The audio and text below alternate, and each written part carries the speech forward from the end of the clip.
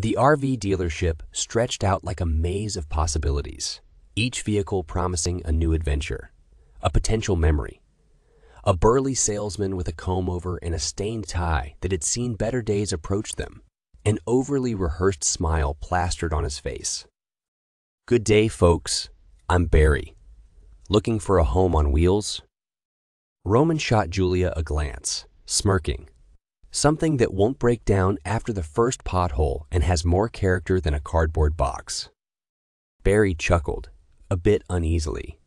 You're in luck. Julia's gaze drifted to a vintage RV. It's paint chipped, but with a sense of stories untold.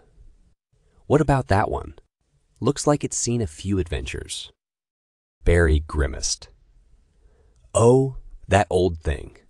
It's been here for ages. You'd probably want something newer, more reliable. Roman approached the vintage model, intrigued. The trio stepped in, and the RV came alive. The wood paneling exuded warmth, the seats worn but inviting. The scent of past travels filled the air, a mix of campfire, pine, and mystery. Roman's fingers traced the patterns of an old road map stuck to the fridge. Feels like it's seen the world.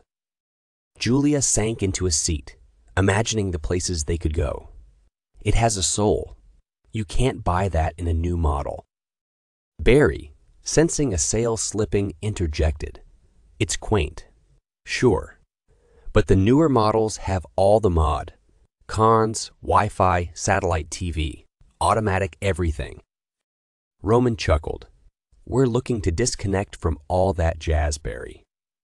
Julia winked at Roman. Plus, what's life without a little uncertainty? Keeps things interesting. Barry sighed, realizing he was beaten. All right, all right, let's talk numbers.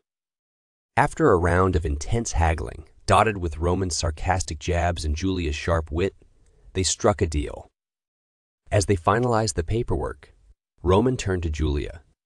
Here's to the open road, to getting lost and finding ourselves. Julia leaned in, sealing the deal with a kiss. And to our old new home.